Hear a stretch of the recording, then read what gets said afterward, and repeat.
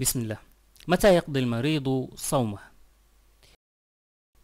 يقضي المريض صومه إذا شفي من مرضه لقوله سبحانه وتعالى فمن كان منكم مريضا أو على سفر فعدة من أيام أخر فلو طال مرضه لا بأس بذلك يؤخر حتى يشفى. وإن شفي وأخر القضاء بعد أن شفي إلى فترة من الزمن ما لم يأتي رمضان القادم فهذا لا بأس به عند أهل العلم لكن يستحب له تعجيل ذلك ليقضي ما عليه بسرعة.